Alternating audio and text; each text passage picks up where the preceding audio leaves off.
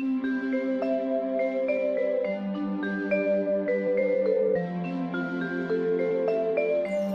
Мынакей урматтуу теле көрүүчүлөр биз сиздер менен назар салган көргөзмө дал ушул жогоруда кеп кылып өткөн эл кувейт шаарында өткөн көргөзмө болчу. Дал ушул көргөзмөдө биздин кыргызстандын атынан барган бир канча маданият кызматкерлери жана ошондой ошол эле учурда таланттуу инсандар өздөрүнүн талыкпаган эмгеги менен бизге кыргыз жергесине биринчи орунду алып беришкен.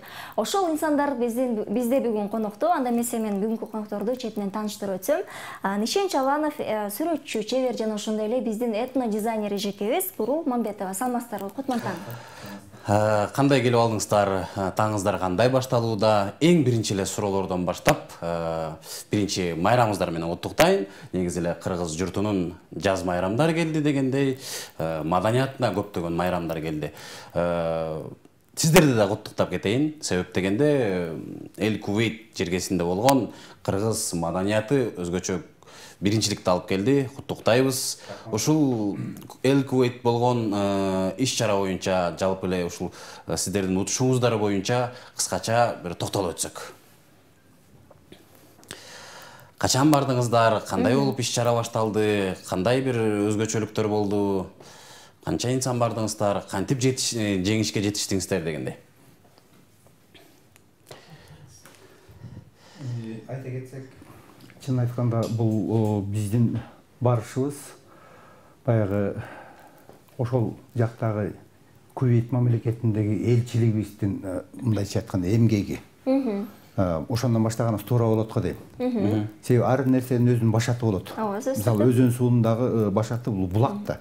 Ошол сыяктуу эле биздин тиги ушул иш чаранын башатында башында турган ушу биздин самаргүл деген ошол патриот кызыбыз ошол жакта элчиликтин башында турат экен анан ошо эжекебиз мындайча айтканда инициативасы менен көп иштерди баштап өзү ошол кат жазып анан ошонун негизинде анан биздин маданий министрлик маданий министрлик аны колдоп ошентип анан кийин баягы жалпы аракет менен ушул эме башталды да. Биз ошону менен барып ал жерден ошо биздин элчиликтин мындайча айтканда аракетин ошо биздин кыргызстан мамлекетинин бир аралчасы да ошо кувейт мамлекетинде. Ошолордун мындайча айтканда биз тиги аябай иш аракети менен боорукиндей результаттарга жетип келдик да кудай буюрса чоң рахмат. Эми сиз болсо ушул иш чара көргөзмө жөнүндө дагы дагы кененирээк мисалы үчүн канча өлкө катышты ким эмнени көрсөттү бизде мисалы үчүн барганда эмнелерин көрсөттүк биздин маданиятыбыздын кайсыл учурлары көрүндү да ал жакта ошол жөнүндө токтоло жетиш кандай болду? Ушундай жеңишке жетүү кандай оордуктарды туудурду дегендей. Эми бул жеңишке жетүү бул жеке жалгыз эле биздин эмгегибиз эмес. Бул жерде байке айтып өткөндөй биздин өкмөтүбүздүн маданият министрлигинин ошондой эле жанагы элчиликтин эмгеги андан сырткары ошол бизде көптөгөн кол өнөрчүлөр барды. Анан тамак аш боюнча дагы биздин баал барды. Жанакыдеки кургатылган продуктылар барды бүт анан андан сырткары дагы эт барды мына ошол койдун этин ошол макулдашып келишти окшойт мындай ош аяк менен. Анан баалды ушундай көп нерселер болду. Анын үстүн анан кийин биздин кол өнөрчүлүк боюнча дагы ошонун баардыгы биригип келип туруп биздин ошол этно шаарчадагы айылчадагы ордубуз ал жердеги тигилген боз үйлөр ал жердеги бизде жана нурмухамед деген балабыз бар дагы. Анын колдоосу менен жасалып турган кыргыздын тамак ашы дагы ошол баардык элдерди таң калтырып ал жактан жасап анан бекер таратып берип беш бармакты күрүчтү кандай басыш керек ошолордун баардыгын баягы мастер класс кылып көрсөтүп турдук. Андан сырткары дагы жанагы показдарды кылып аттык белгилүү дизайнерлер бар да жерге. Мисалы бизде чапан студиясы деген бар жети бир тууган деген бар сим сестер деп коет махабат деген кызыбыз бар. Анан мен өзүм бар дегендей. Анткени бул жерде меники ошол үч жолу гран при алган бул биздин өзүбүзгө жон терибизге чукул жүндөн жасалган оокаттар да.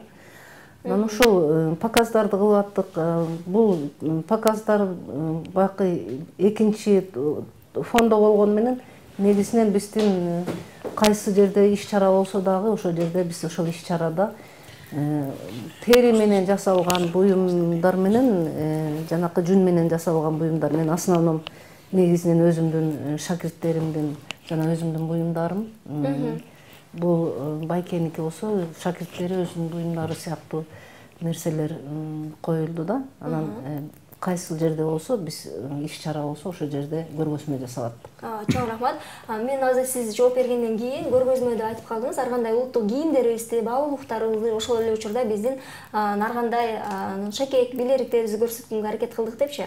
Азыр мен сиздин үстүң башыңыздагы биздин аппак элечегибизди көрүп бир суроо менде туулуп атат да бунун узундугу канча метр чыгат? Жана ошондой эле салмагы?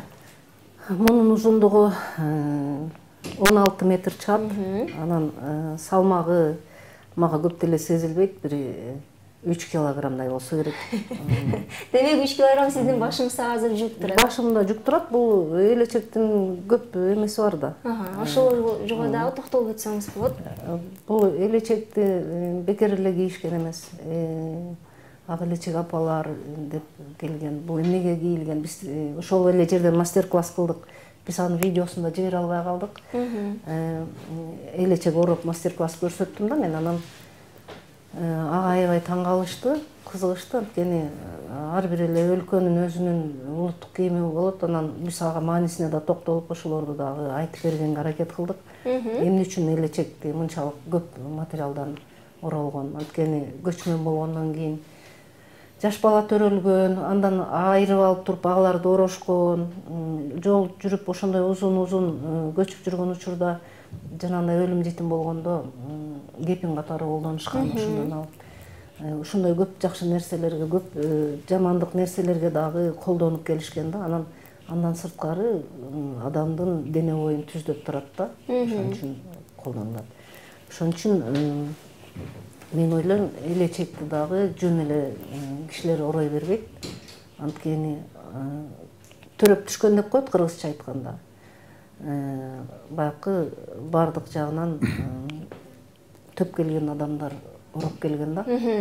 Анан ошондой чоң рахмат. Э, сизге кайрылгым келип атат э, э, сизди өзгөчө баягы сүрөт жаатынан да тышкары негизи эле сүрөт дүйнөсүндө жүргөндөр дагы да болсо башкача башка мындай кошумча сүрөттү бир нерсеге түшүрүү же болбосо дагы бир нерсени жасашат экен да. Сизде ээр жасайт деп уктук. Ээр токуп ээр жасап же ээрди сүрөткө түшүрүп ушундай сүрөттү негизи көп нерсеге түшүрсө болот экен. Ушул жаатын да сурагым келип атат. Оңойду туудурабы же кыйынбы канча мээнет кетет кандай сабырдуулук керек?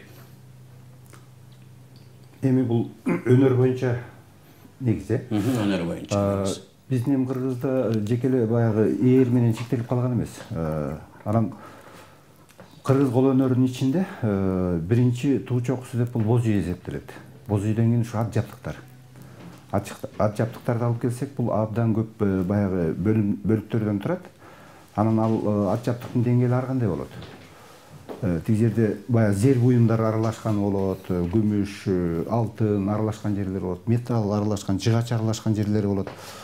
Анан ошол жасалган буюм ошол чебердин деңгээлине жараша болот. Анан мен өзүм баягы ушул устат болуп балдарга билим берем ошол нерсеге үйрөтөм. Могу булгардын көркөм иштетүү боюнча биздин чуйковатында сүрөт окуу жайыбыз бар ошол жерде сабак берем. Анан тиги көргөзмөдө да ошол өзүмдүн шакирттеримдин иштери болду өзүмдүн иштерим болду. Анан мындайча айтканда биз ошол кувейт мамлекетинде биздин жеке эле мен эмес бурул эжекебиз дагы анан жана башка кол өнөрчүлөрүбүз ошо кыргыз кол өнөрүнүн деңгээлин көрсөттүк маданиятын көрсөттүк. Андан тышкары жанагы биздин тиги фольклор тиги биздин камбаркан ансамблі барды шаттық ансамблі барды ақмалар ақмарал барды. Ошолордун баардыгы мындайча айтканда баары биригип келип кыргыздын маданиятын көрсөттүк да. Анан биздин кол өнөр да ошол маданияттын бир бөлүгү катары. Жакшы баягы иштерди кылдык. Анан мындайча айтканда ошо биринчи орунду алгандын эмеси дагы ушул биздин иштин баягы жыйынтыгы да. Анан кандай десем өткөндө ушул элкуит жергесинде болгон өзгөчөлүккө кайрылгым келди. Ушул биринчи орунду багындырды кыргызстан буюрса көптөгөн адамдар сүйүнүп атса керек биздин маданиятыбыз көптөгөн канча мамлекет катышты негизи? Канча жерден келишти? Бул жерде бүт араб өлкөлөрү катышты. Араб өлкөлөрү катышкандан сырткары орто азия боюнча жалгыз кыргызстан катышты да. Ошол жалгыз кыргызстан катышып араб өлкөлөрүн таң калтырып бул өзгөчөлүгү эмнеде болду? Өзгөчөлүгү биздин боз үйлөрдө. Алар негизинен палаткаларды тигип дагы чагылышат экен. Биздин боз үй анан кийин жанагындай жасалгаланган ээр ат жабдыктары ат жабдыктарга негизи аябай кызыгышты. Эми баягы алыбек алына жараша деп ал жерге көптөгөн эми бул бай өлкөлөр да. Ошол алдарына чактап калат экен. Абдан кызыгышты да мындай ар бир эле араб келип баягы кызыгып ошол карап атышты да балдарынан бери. Биздин кол өнөрчүлүккө аябай кызыгышты негизинен. Анан мен ойлойм баары бир биздин кыргыздын кол өнөрчүлүгү дүйнөнү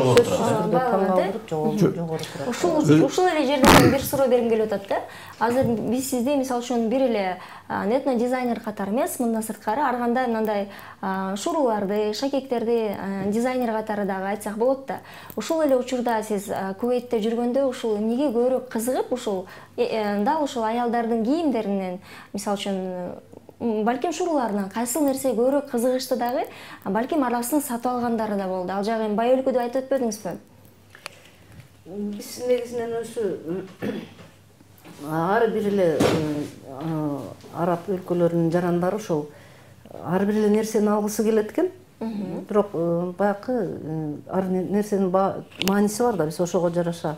Биздин камчыларды кичинекей ээрлерди кичинекей сувенирлерди моундай териден жасалган браслеттерди ошолорду баягы эме белек катары көбүрөөк алып атышты. Анан биздин жүндөн жасалган жанагындай бут кийимдер тапочкелер ошол сумка баштыкчалар көп көп нерселер эми айтып отурсак ал жерде көп эле оокаттар кол өнөрүнөн чыккан. Кызыгып алгандар көп эле болду да эмди жакшы бир жаңылык болуп утушка ээ болуп турбуз эмди жакын арада боло турган кандай пландар бар? Ушул кол өнөрчүлүк боюнча негизи эле кыргыз маданияты боюнча кайсыл бир иш сапарларга мүмкүн көргөзмөлөргө даярданып жаткансыздар? Пландарыңыздар кандай? Мен буреки маданий өзгөчөлүгүбүз жөнүндө айтып кетеличи.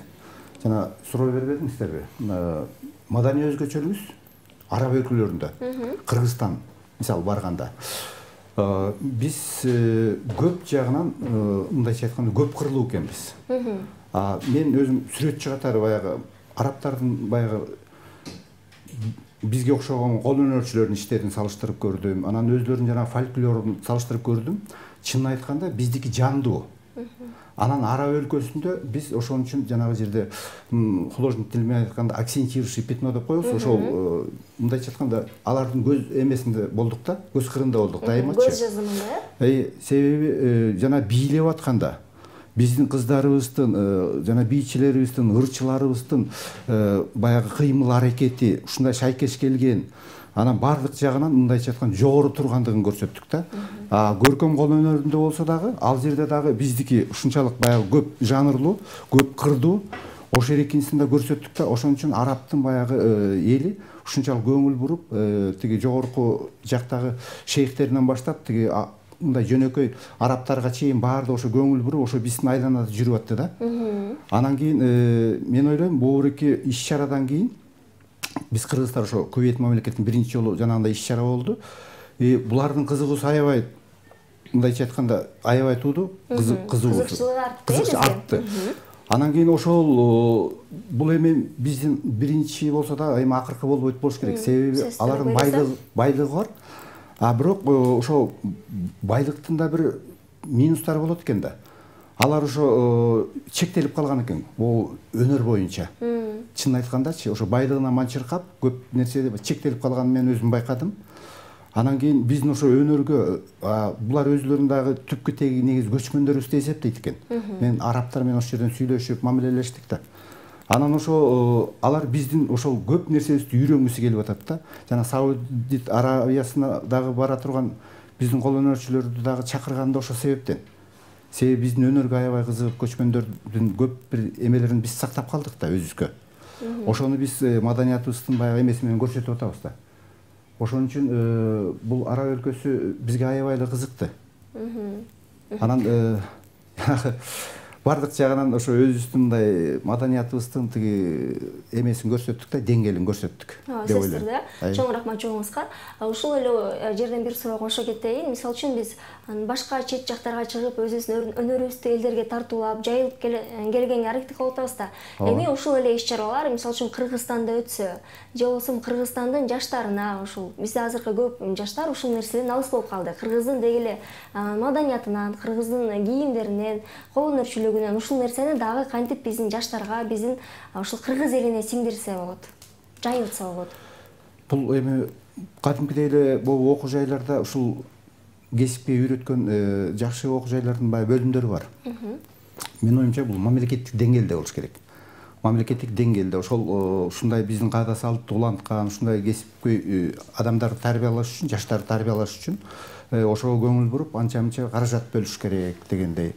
Анан кийин иш чаралар өтүп туруш керек. Анан стимул кыла турган бир баягы нерселер болуш керек. Мисалы конкурс болобу же дагы бир эме болобу сынактар болобу ошолордо иш чара өтүп туруш керек да. Анан кийин жаштарды көбүрөөк тартабыз ошондочу. Жаштарды кызыктырабыз. Анан мисалы ойлойм окуу жайларда ушундай жакшынакай мына бурул эжекеев тарбиялап атат биздер тарбияланып атат көп эле. Бар жаштар бирок аз. Аз. Ошон үчүн мамлекеттик масштабта аракет керек да. Чоң рахмат. Негизи ушул сиздин мисалы өзгөчө бир өзүңүзчө өнөрүңүз бар сиздин өзүңүзчө бир өнөрүңүз бар. Анан кийин ар бир өнөрдүн артынан калуучу бир изи болот экен да. Шакирт кармашат экен мисалы. Анан берейин деген суроом шакирт кармап жардамчыңыздар барбы? Же анан ушул сиздер камтып жүргөн өнөрлөрдү адам бир тубаса бир өнөрү менен пайда алыш керекпи же окуп үйрөнсө болобу деген суроого кайрылсак эми бул жерден айта турган болсок биздин ар бир кыргыздын жараны бул жердик эле биздин ата бабаларыбыз таланттуу да ар биринин өзүнүн ишмердиги бар ошол ишмердигинин аркасында кандай жалкоо адам болсо дагы ар бир нерсеге көзү жетип ошону жасаганга аракет кылып кичине кичине болсо дагы үйрөнгүсү келгендер толтура мен мен азыр манаста анан кийин политехте сабак берем азыр өзүмдүн эле окуучуларымды айта турган болсом беш миңден ашык да анан ошо беш миңдин ичинен деле чыгаан таланттар бар. Ошол ушул эле жаңы технологияны үйрөнгөн эски технологияны үйрөнгөн дегендей көп көп баягы окуучуларыбыз шакирттерибиз бар да. Эми негизинен мен айтып атпаймынбы ошол тиги кувейтке барганда деле ошол шакирттердин эмгеги менен өзүмдүн эмгектерим сыяктуу эмгектер да. Эми унутулуп калган нерселерди көп жасап атабыз. Биз жаңы технология деп көп элден үйрөндүк чет элден үйрөндүк деген менен деле ошол эле калпакты деле чапанды чепкенди деле малакайды деле ошол кыргыздар уютуп жасашкан да. Анан чокойлорду деле уютуп жасап азыркыга чейин мына жумгал жергесинде унутула элек азыркыга чейин деле ошол жанагы чокойлорду уютуп жасап жүрүшөт. Анан биз аны кайра келип туруп баягы заманыбыз совет өкмөтүнө кошулган мезгилде баарын унутуп калып анан кайра эми өзүбүздүн башыбызга күч келгенде анан кайра үйрөнүп атабыз да. Мен кээде ошого намыстанып кетем. Ошон үчүн ар бир жаштар ар бир окуган окуучулар биз проектилер менен иштейбиз да. Ар бир окуткандарыбыздын баардыгы. Ошол биз жасаган иштерге абдан кызыгат. Абдан баягы келечеги кенен деп ойлойм. Биз мен ойлойм өзү көп эле салым кошуп атат болушубуз керек кыргыздын кайра кыргыз болушу сөзсүз түрдө рахмат чоң рахмат.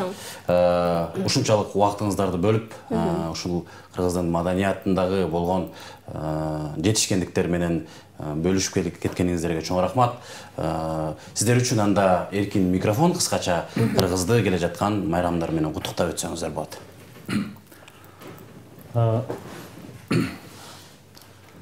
бүт биздин ушу кыргызстандын майымдарын а- алдыда келе аткан жаз майрамы менен куттуктайм ылайым ушул кем болбосун дайыма өнүксүн өссүн жадырап жайнап гүлдөй жайнап жүрө беришсин рахмат чоң эжеке сизге мен мен- болсо ушул жалпы кыргыз элин куттуктап кетем анткени биз жаңыдан кыргыз боло баштагандан кийин мынакей кыргыздын кийимдерин ошол э, кийимдердин жумалыгы болуп атат. Андан сырткары мына бешинде калпак Ооба. тың күндөрү болот. Э, негизи э, баардык э, калайык калкка кайрылып кетерим биз э, нукура түп бөлүгү кыргыз экенибизди унутпашыбыз керек да. Чоң рахмат. урматтуу теле көрүүчүлөр мен эскерте кетсем бизде а, бүгүн конокто эл кувейт шаарында өткөн көргөзмөдө silk road shot аттуу көргөзмөдө биринчи орунду алып келген биздин конокторубуз болду анда эмесе биз сиздер менен программабызды алдын көздөй улай барабыз дагы азыркы учурда жагымдуу музыка